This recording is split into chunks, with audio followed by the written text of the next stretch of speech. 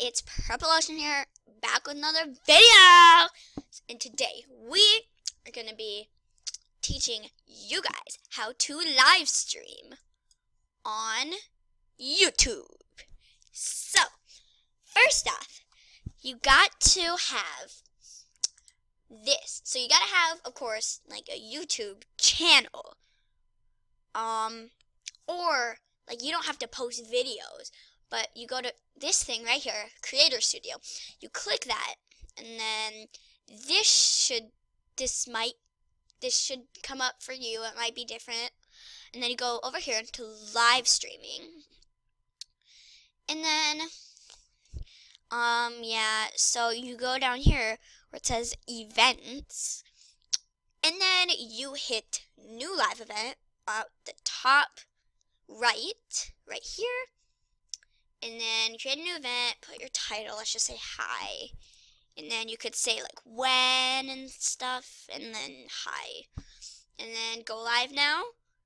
And then that would come up, and then you hit OK. And then this should come up. And then should be a thing that, yeah, there should be that thing.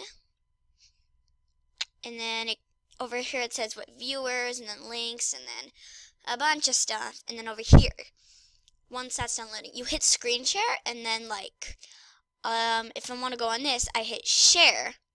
So then it would be there, and then this is what it would look like on everyone's.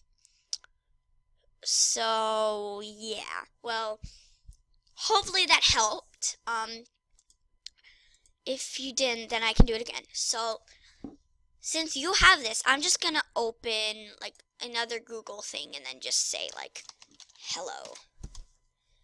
Okay, so then you go over here, and then, like, let's say you have Minecraft up or something. You could hit that, and then all of your tabs should be up.